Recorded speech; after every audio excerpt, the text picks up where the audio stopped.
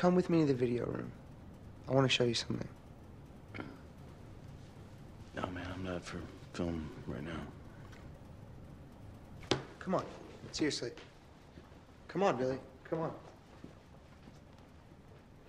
The Visalia Oaks and our 240 pound catcher, Jeremy Brown, who, as you know, is scared to run to second base.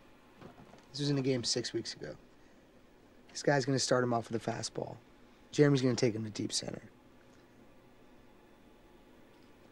Here's what's really interesting because Jeremy's going to do what he never does.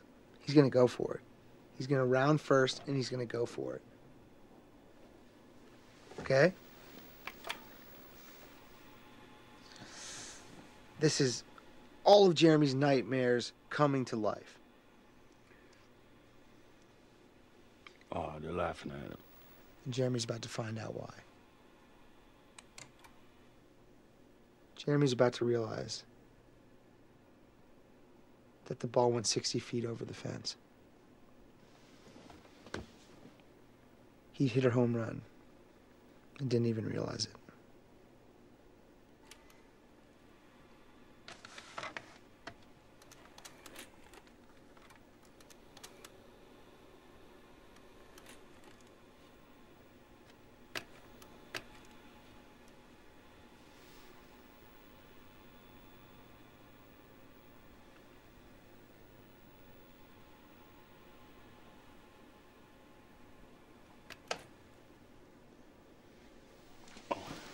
How can you not be romantic about baseball?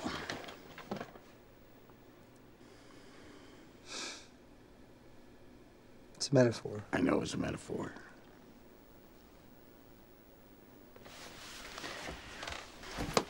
Okay.